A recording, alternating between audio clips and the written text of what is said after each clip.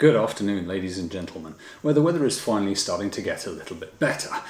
If, like me, you're getting up to full volume, things are probably looking quite good at this point. I caution you to do nothing rash, just because your chances of suddenly increasing your fitness are relatively low, but your chances of hurting yourself and not being able to recover in time for the race are starting to get high people are getting out on the trails. It's fantastic, and in fact, if Strava is to be believed, Riverhead Forest this weekend has been chock full of people getting out there and doing what they need to make sure they have a great day at Tarawera. It's four weeks to go. The topic of the day is shoe choice. Now, I've seen some comments and questions on the Tarawera Facebook page about what kind of shoes you should run in. And to cut a very long story short, my personal view is you can run in pretty much any sensible road or trail shoe and you will be absolutely perfectly okay 90% of the time. The one possible exception is if it absolutely tips down with rain, as it did in 2018, 2014, and occasional other times. And we've seen with the recent weather here in Auckland and to a lesser extent in Rotorua, it can happen. So, a couple of examples. Um, I will probably personally be running in these, which is a pair of Nike Zegamas. Um, I've tried them out, I'm very happy with them. It's just a trail shoe. Um, if they do have one minor challenge, much as the other shoes I'll be talking about in a second, their grip isn't amazing in very, very muddy conditions. Um, I've found it acceptable, good enough. So that's my first choice of shoe. Um, other example shoes, Nike Terra Kigers. Uh, I ran the 100k in 2020 in a pair of the old Terra Kiger 5s. I ran the Taupō 100k um, in a pair of Terra Kiger 8s. That's a pair of 8s. Again, the grip's not amazing, but for the vast amount of uh, the distance on Tarawera, absolutely fine. Uh, road shoes. I do most of my daily miles in a pair, a humble pair no less, of Nike um, uh, Pegasus 39s. I've been using the Pegasus for years aside from the 37, which was an absolute disaster of a trainer, they've all been very, very good for me. Um, you would be absolutely a-okay to run Tarawera in a pair of these the vast majority of the time. Certainly when I ran it in 2020, I could have run it in these and there'd be absolutely no problem whatsoever. Um, so you don't necessarily need to run it in a pair of trail shoes.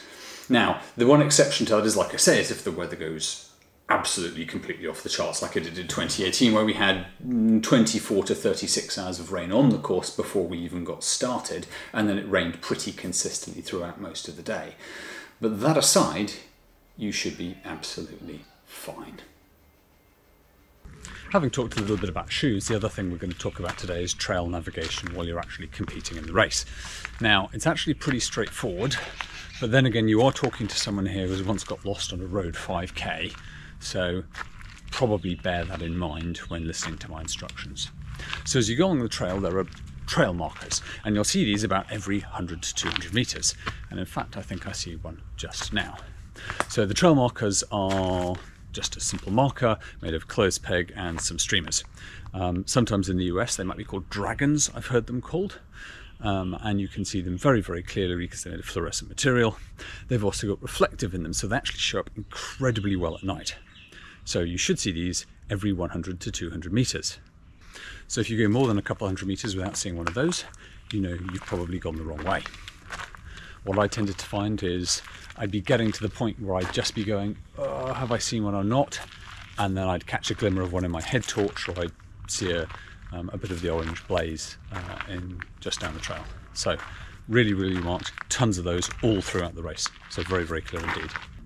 We see some more trail markers and we're coming up to a junction. Well, how do you know which way to go? Well, there are some clues. Firstly, there's a sign to the left telling us that we should probably go down that little side trail there.